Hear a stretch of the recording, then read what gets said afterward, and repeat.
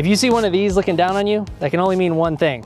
I came out to Selah in Washington State, drove three miles up a very bumpy road where the deer and the antelope play, all for a closer look at this Lightbridge terminal from Taara.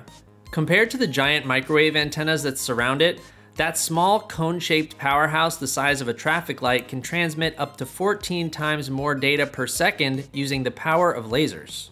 Fiber optic is widely considered the gold standard for a speedy internet connection, but laying all the cable required takes a lot of time and money, meaning people living in more rural communities are often left underconnected. That's where Taara's Lightbridge terminal comes in.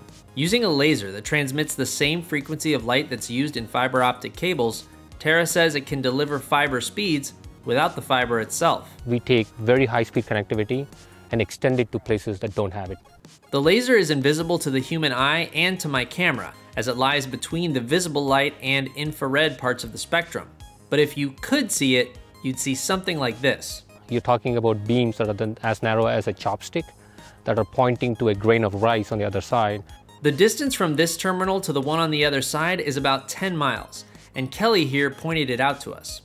He also explained how the heck you aim a chopstick sized laser at a receiver the size of a grain of rice over a distance of about 10 miles. You kind of generally get it pointed in the right direction, and then our field techs log in on their computer, and they have what's called a web GUI that you can fine tune it to your target. It's almost like a scope that, that you'd see, and you just point and click with the, the mouse that all sounds interesting, but if this technology depends on lasers, what happens when something like a bird or some idiot waving his hand gets in the way of the signal? Yeah, you will see a brief interruption, but we have built in algorithms and software inside the terminal to detect that there was a brief interruption, and we have a repeat request, which is a retransmission of the data, so the other side doesn't even notice that brief blip of uh, loss of packets because we are able to detect it and retransmit it. Fog can also cause issues as it scatters the beam of light.